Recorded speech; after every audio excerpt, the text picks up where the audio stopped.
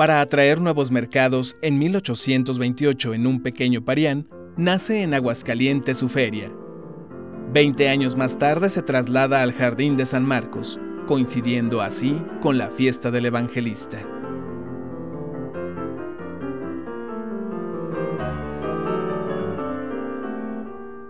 Este arbolado jardín de balaustrada neoclásica y cantera rosa es el escenario de las tradicionales mañanitas y el imán de todos los paseantes. Testigo de la laboriosidad de las mujeres aguascalentenses que con orgullo muestran sus trajes típicos.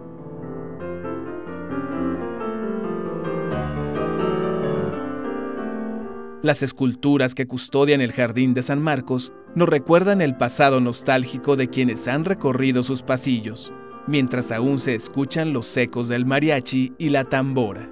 Comienza la pelea, las apuestas ya casadas, las navajas amarradas, centellando bajo el sol.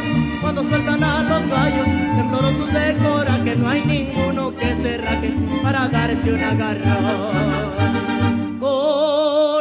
plumas relucientes. Desde el Jardín de San Marcos, UATV recorriendo la cultura y tradición de Aguascalientes. Han hecho que calle el tiro